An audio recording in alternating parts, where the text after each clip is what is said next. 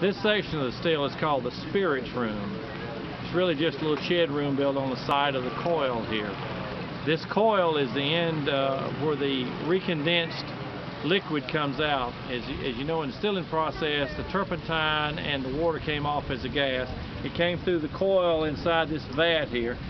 This is the end of it, and it was cooled by the water and came out as a mixture of turpentine and water. It starts running a few minutes after the still is actually fired. And we'll take a sample here.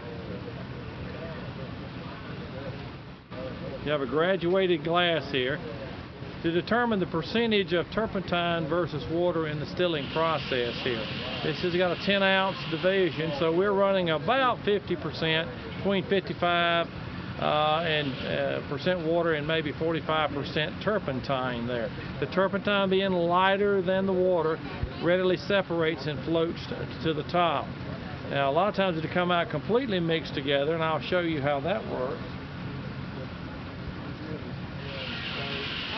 As it comes down the coil it's like this. But they're being, the, the chemicals being uh, immiscible, they readily separate with the turpentine floating to the top here. The significance of that is in this barrel right here called the separator barrel. The separator barrel basically is your wooden barrel. It has a tube coming off to the side. We start out with water somewhere around this level here and as it fills up then the turpentine runs off as it separates into our second barrel. The second barrel is a similar barrel with addition of a charcoal filter in the middle to se help separate any of the impurities there. The water in the low wines or the other impurities sink to the bottom. As we continue the process, that level continues to rise in the barrel. That is controlled by a spigot or a plug on this side.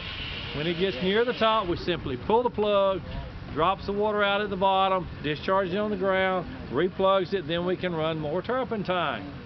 The final barrel over there is our collection barrel, and it gathers the pure turpentine and then is prepared to ship out.